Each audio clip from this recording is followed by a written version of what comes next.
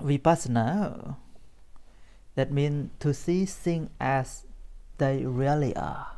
That is something happen there is you know cause and effect and we say there is a, a rising and there is dissolving. A rising and dissolving. Nothing we can attach to those things nothing belong to us it is natural way of it.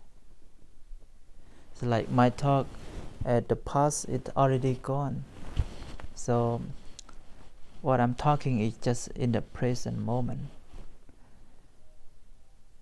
So everything we can apply to and most important thing is to be mindful in every action we say sati. Mindfulness is sati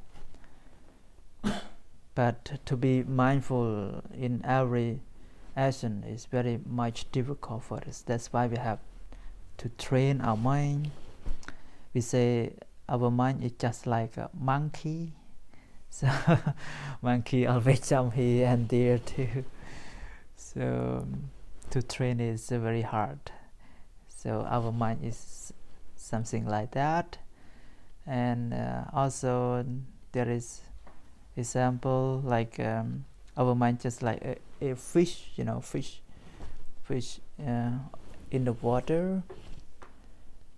The if fish in the water nothing happen to that fish. They always enjoy because it's in the water naturally.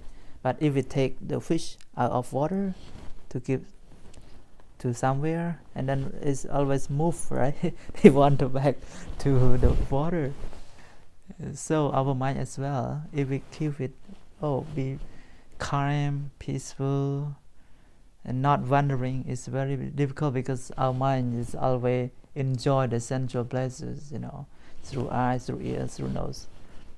So it's very hard but as long as we train our mind we tame our mind we will be peaceful. So thank you very much my very dumb, short Dharma talk and hopefully you can understand something. And just my share my sharing my little knowledge too you also can share your experience of practicing Buddhism and your understanding Buddhism so that I can learn from you too right? But thank you so yeah